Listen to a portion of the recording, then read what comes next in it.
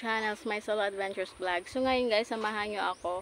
Mag-aatip ako ng pawid dito sa aming kubo, dito sa Pantatan. So ayan yun, natapos na ng aking father. Pero ito, hindi pa siya natapos.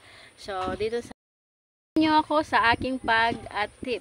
So thank you so much to all my supporters. So let's go guys! Bye-bye! Agay! Wow, nabunggo nga ako nga ulo. Kagamay mo na sa ako ulo. Bangguon mo pa?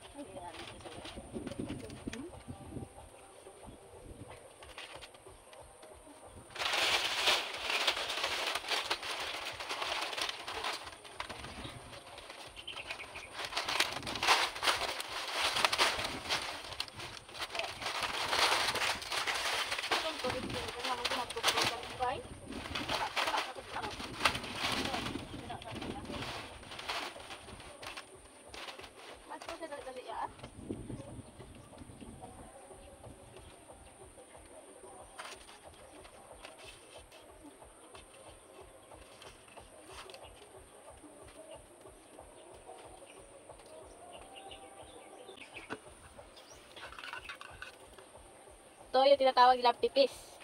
So, pipis natin guys na para matapos.